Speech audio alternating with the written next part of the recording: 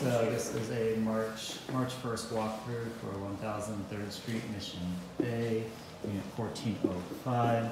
Uh, we tested all the appliances, they're all in working order. Um, couple things that we wanna note is that there is no sealant, um, in the sink, that sealant needs to be added. There are, is a light chip the dishwasher surface or um, face that needs to be fixed. Uh, not a big deal, but we're gonna try to get this fixed. It's it's not closing um, as it should be. Let's see this one. Just little scratches down the sides. Sure, little scratches on the sides.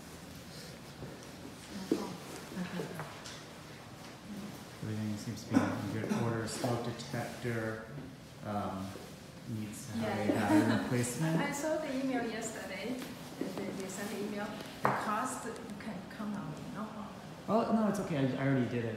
No, I already have. No, no, no, you- uh, you give me the bill. Okay. Thank you. Uh, paneling right here. I think that is being fixed or worked on. Paneling here as well.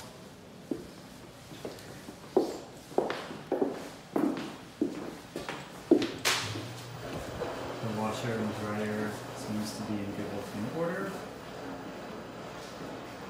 Go over to the guest bathroom.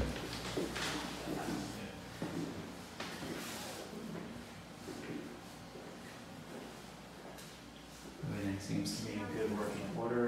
Is there anything? Push the toilet bowl in. Alright.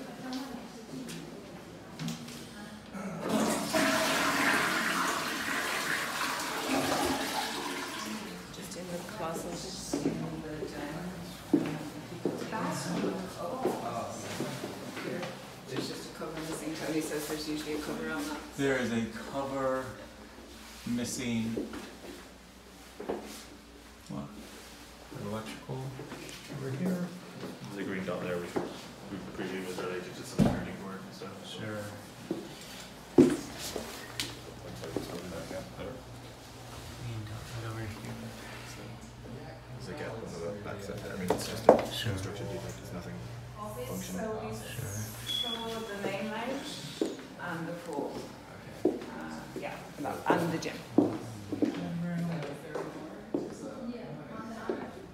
Bedroom is in fairly good working order. There's a few marks at the ceiling and a little bit of dirt marks on the flooring.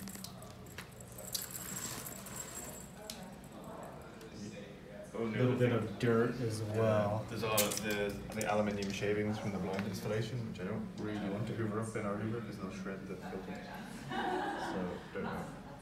We can try and Mm-hmm. No problem, I'll work on that.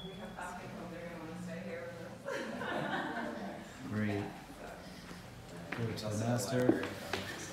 Slight mark on the floorboard in the hallway.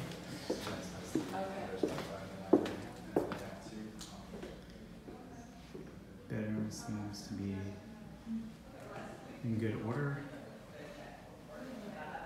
We'll all the. Mm-hmm. Yeah,